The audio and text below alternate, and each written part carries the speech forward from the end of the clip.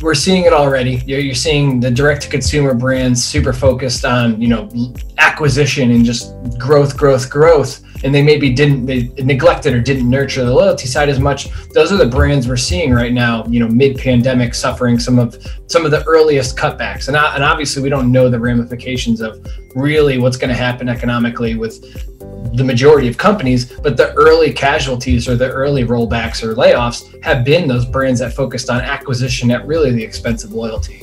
So I think as brands move forward, if, if you were doing well during the crisis, it's because the people you nurtured and cared for up to this point are supporting you during a very difficult time.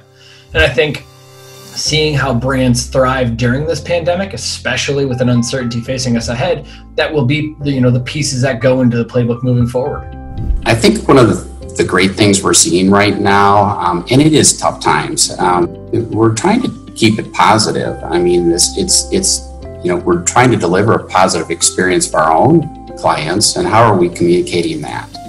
So, and if, if we think about it, we want them to just be human, be real, be a partner. And kind of for the first time, this is where loyalty is getting exciting right now. It's they're putting people over products. And this really endears customers um, uh, to be better um, customers to the brand. And our, our data driven insights is really kind of helping that. And that's where, where loyalty is really playing a good part.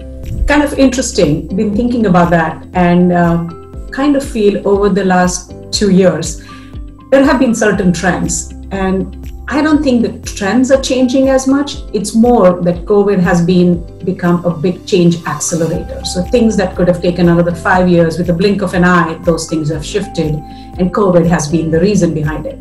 If you think about it, there are some key attributes of customer experience, which still stay the same. For example, let's just take convenience. Convenience is still very important, but the definition of what it means has changed.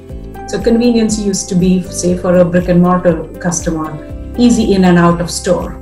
Now it's more about contactless, digital experience. So the key attributes have stayed the same. How you pivot from them is really changed. Consumers are really adopting and intensifying behaviors, especially digital ones. Customers have re-evaluated their attitudes, values, and beliefs overnight, going back to some more fundamental parts of the Maslow's hierarchy of needs customers have discovered and purchased from brands outside of their normal shopping habits. And you know, McKinsey just did a survey, and consumers largely intend to stick to the new brands, what they started shopping during the COVID. So that's something that brands need to take a note of as they're moving forward. That you have gained some new customers for some. How do you keep them and keep them engaged once we get out of COVID?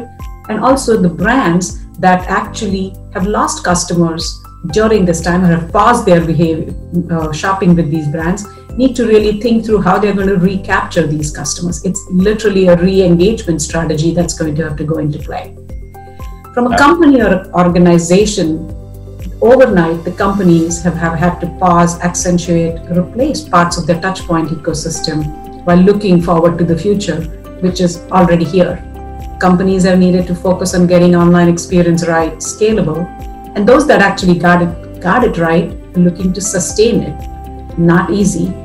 And if you just look at the digital ecosystem, organizations really need to look at remodeling their frontline response. Maybe you don't have that many retail workers on the front line, but from customer service strategy, you could have them call fulfillment centers and helplines.